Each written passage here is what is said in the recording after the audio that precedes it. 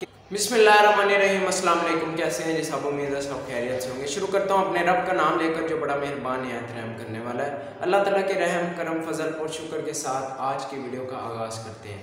आज मैं आपको बहुत ही अहम और कमाल की न्यूज़ सुनाने वाला हूँ। सबसे पहले, अगर आपने मेरा यूट्यूब चैनल अहमद सीबिया को अभी तक सब्सक्राइब नहीं किया तो नीचे सब्सक्रिप्शन का बटन है, उसको प्रेस कर दें और वीडियो को लाइक भी कर दें।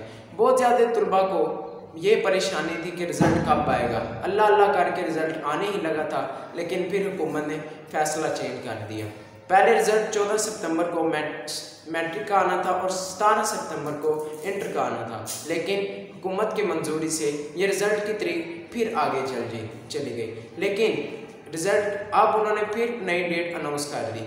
बहुत देर से ये चला आ रहा है। पहले ये डेट अनाउंस फिर ये फिर ये। और आखिरकार ये तय पाया था कि पहले रिज़ल्ट आना था चौदह सितंबर को मैट्रिक का और सतारह को इंटर का।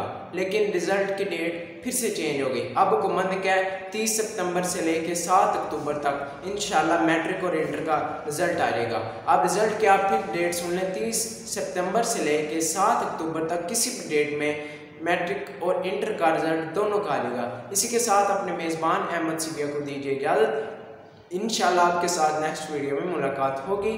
तब तक के लिए रब रखा।